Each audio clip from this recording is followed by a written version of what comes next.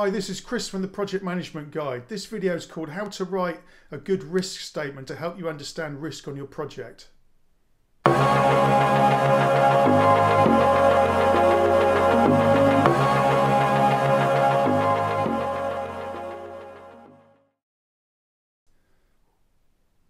So welcome back. So this this video is another another one about risk management on projects. So as I've said before, risk management is not the most sexy subject, I'm afraid, but it's essential for project managers to get it get it under control, and it's a key set of activities and skills uh, that you need to need to understand and manage. So I'm going to explain how to do risk statements. I'm going to have a little bit of a rant as well. I don't think project managers are very good at doing risk statements, so I'm going to have a little bit of a rant, I'm afraid, not for long, but I will do.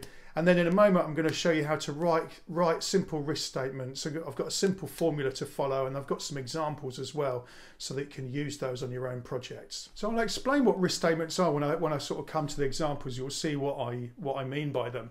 But why do we do them in the first place? So first place. So they outline what the risk is and, and what the impact of the risk is on the project. And they're needed for communication to various people, your stakeholders, etc. Normally you write them down in a risk log.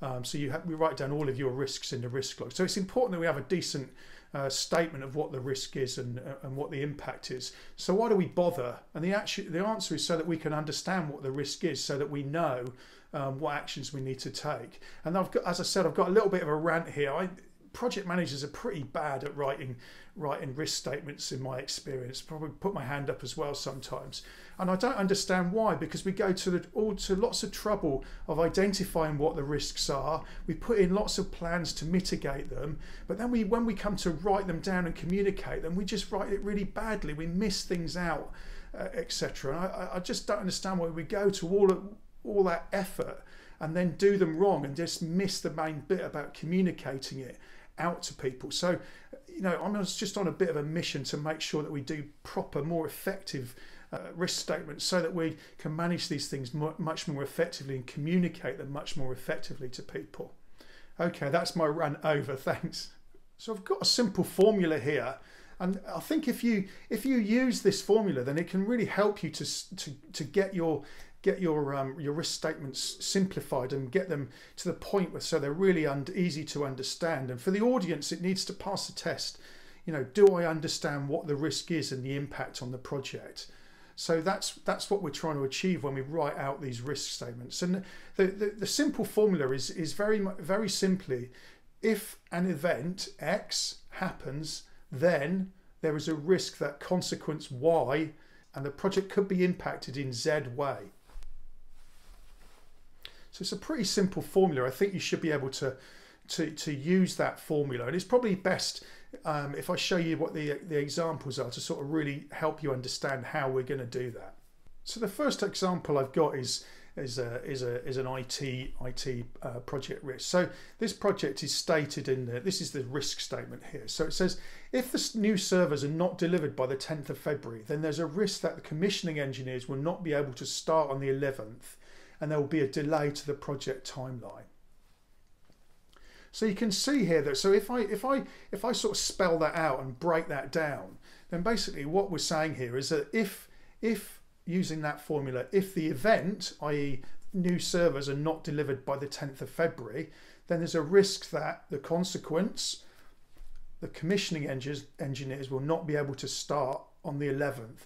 And so the impact will be, so there will be the impact will be a delay to the project timeline. So you can see that that simple formula helps us to get the event, what the risk is, what the consequence of that risk is, and what the impact on the project is as well. So it's, it's really helping to simplify the risk statement and make it very clear. If you move on to the next, the next uh, statement, I've just got another example here. So the risk statement is if the new sales software is not delivered by the 1st of May, then we may have to extend the contract for the sales software testing team, meaning, meaning that there would be an increase in the budget required. So this is a really, you know, really common sort of uh, risk that you might have in a project. You know, some a bit of software is going to be late, which means that you might have to extend your software, your testing team, for example. It's really common, this sort of risk. So going back to breaking down the risk statement, So if event, the new sales software is not delivered by the 1st of May, then we have, have then we may have to. The consequence is that we have to extend the contracts for the sales software testing team. And that means that, i.e., the impact on the project is that the, there's going to be an increase in the budget required. So I hope you can see that if we just use this simple formula, if the event happens, then there is a risk that the consequence happens and then the project could be in, impacted in, in a, in, a, specific way. And if we test that with our audience as well, so do the, does the, do the audience actually understand what the risk is, the impact on the project? So I, I hope that you can see that if we use this simple formula, it will really help you to write better risk statements. So I hope you've enjoyed the video. Uh, there's plenty more uh, videos on risk management uh, in project management on, on the channel, and I've got a few more in the pipeline as well. So please subscribe. Um, also, I'd love to hear your comments on how you're getting on managing your risk and any challenges you've had. So drop me some comments below. And if you need any more information, you can find us at theprojectmanagementguide.com.